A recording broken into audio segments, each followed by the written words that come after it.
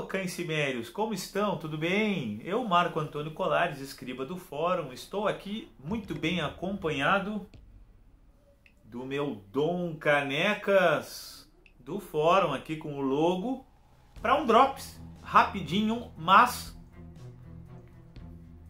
muito especial. Nós estamos em junho, nos aproximando da data de 11 de junho, que marca o dia do, da morte do Robert Irving Howard. Então agora, no próximo dia 11, a editora Script vai lançar um livro que para mim é muito especial. Pela primeira vez no Brasil, a editora Script, eu, Marco Antônio Colares e o editor Douglas Freitas estamos editando pela primeira vez no Brasil uma obra inédita de Robert Irving Howard. Que obra seria essa? É uma obra que trata dos primeiros anos de Howard como escritor. Ela foi escrita por volta de 1928, é, fala sobre as idas e vindas do Howard com seus dois melhores amigos que viviam próximos a Cross Plains, na cidade de Broomwood, o Tevis Clyde Smith e Truett Vinson, fala sobre os primeiros anos de Howard como escritor, as dificuldades, as apostas que ele fazia como brincadeira nas lutas de boxe, a vinda do petróleo para Cross Plains e, de certa maneira, como ele pensa a civilização. Essa obra nunca foi publicada durante a vida do Howard. Ela ficou como um fragmento, é, como um, uma obra sem título. Mas um dos amigos do Howard, o Tevis Clyde Smith, teria dito que o Howard, numa conversa com ele, em algum momento lá da, da, da amizade deles, o Howard teria nomeado essa obra como Post Oaks and Sandholz. O que seria isso? Post Oaks é um tipo de carvalho que tem no Texas e o Sandholz é, uma, é um tipo de terra que tem naquela região. Normalmente essa árvore sobrevive nesse ambiente rústico. Então a obra fala um pouco sobre isso, né? Sobre pessoas é, valentes, pessoas resilientes, resistentes, o Howard e os amigos, vivendo numa terra arenosa, numa terra difícil.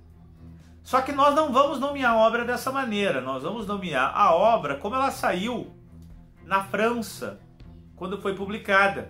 Ela saiu como O Rebelde, né? Le Rebel.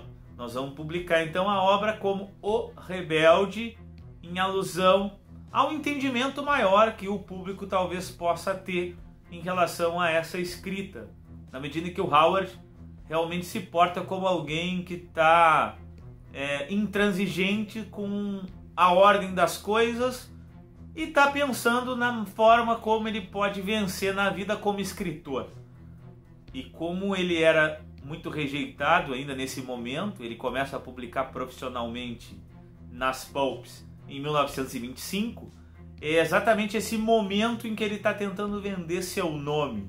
O Conan ainda não foi criado, o Solomon Kane, Kane está sendo criado nesse momento, o Cal ele chega a mencionar na obra que já criou, ou seja, o Howard falando um pouco dele mesmo, falando um pouco sobre como ele pensava os seus personagens e a literatura.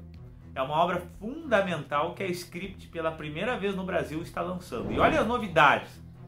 Nós temos um prefácio do Rust Burke, com a publicação que saiu lá nos Estados Unidos, pela Fundação Internacional Robert Howard, a REUPA, com as notas de rodapé explicativas do Burke e de outros experts na obra de Howard, com um pós-fácil do Jason Carney, um scholar famoso que fez um doutorado sobre a obra de Howard e Lovecraft.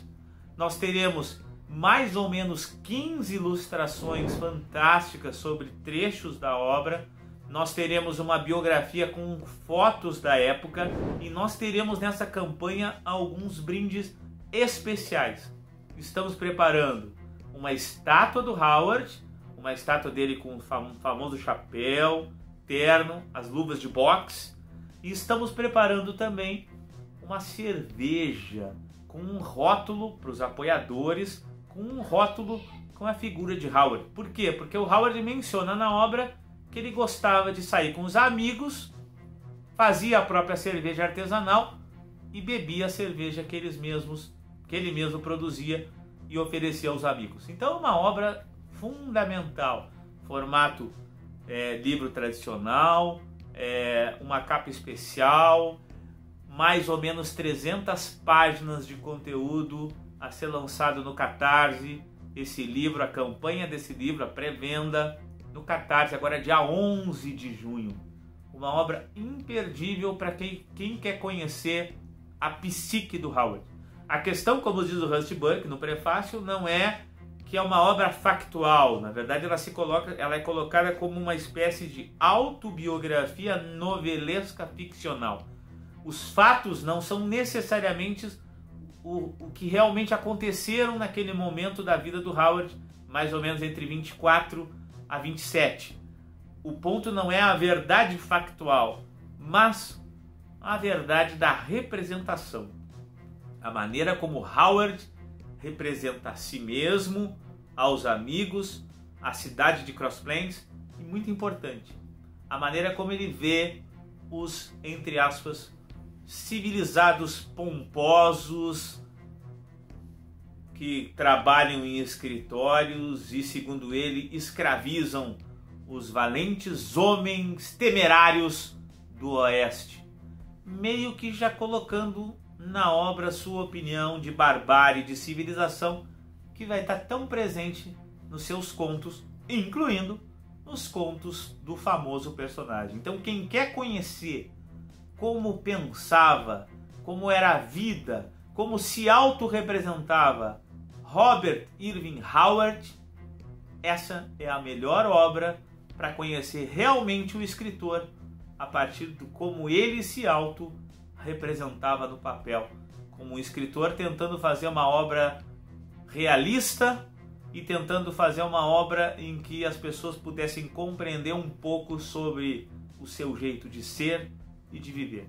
Convido a vocês, no dia 11, nós teremos uma live falando sobre o lançamento e convido a vocês no dia 11 a entrarem no Catarse e olhar essa campanha pela primeira vez no Brasil, uma obra inédita em solo brasileiro do criador do Conan. Até mais cães e borianos. Eu termino aqui com o meu Dom Canecas, muito feliz por essa campanha se iniciar e pela editora Script estar fazendo um trabalho tão promissor e tão bem feito com essa obra desse autor que merece todo o nosso respeito. Até mais, pictos selvagens malditos.